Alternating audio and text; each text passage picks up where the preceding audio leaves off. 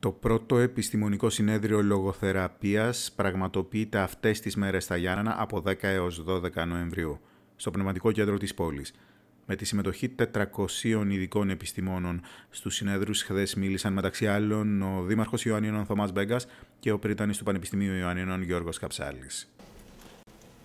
Αισθάνομαι ιδιαίτερη ικανοποίηση όταν, παρά τη δύσκολη οικονομική συγκυρία που αντιμετωπίζει η κοινωνία μας, αναλαμβάνονται τέτοιες πρωτοβουλίες όπως η σημερινή, αναδεικνύοντας θεματικές με ξεχωριστή βαρύτητα. Είναι κατά συνέπεια γεγονός ότι ένα μεγάλο επιστημονικό συνέδριο για τη λογοθεραπεία προκαλεί το εξαιρετικό ενδιαφέρον τόσο της ίδιας της επιστημονικής κοινότητας όσο και του ευρύτερου κοινού. Επιτρέψτε μου, πριν αναφερθώ στο συνέδριο αυτό καθεαυτό, να τονίσω πως η πόλη μας έχει την τιμή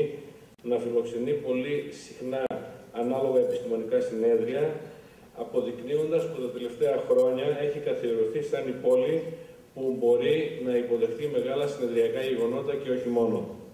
Γι' αυτό και θεωρώ μεγάλη μου τιμή να βρίσκομαι σε όλες αυτές τις εκδηλώσεις ως Δήμαρχος Ιωαννίνου και να εκπροσωπώ την πόλη. Σημαντικό ρόλο φυσικά για τη φιλοξενία τέτοιων γεγονότων παίζει η παρουσία του Πανεπιστημίου Ιωαννίνων και του ΤΕΙ Υπήρου, τα οποία αποτελούν δύο πολύ ξεχωριστά ιδρύματα, δύο πολύ ξεχωριστές δομές για την πόλη μας, με τεράστια προσφορά στον χώρο της εκπαίδευσης και της έρευνας. Σε ό,τι αφορά τώρα το δικό σας συνέδριο, το πρώτο που έχει να κάνει με τη λογοθεραπεία, είμαι σίγουρος πως επιλέχθηκε η κατάλληλη χρονική στιγμή και ο κατάλληλος τόπος για να διεξαχθεί, καθώς η ραγδαία ανάπτυξη και διάδοση της επιστήμης σας τα τελευταία χρόνια, αλλά και η συμπόρευσή της με άλλες επιστημονικές ειδικότητες, δημιουργούν ευθύνες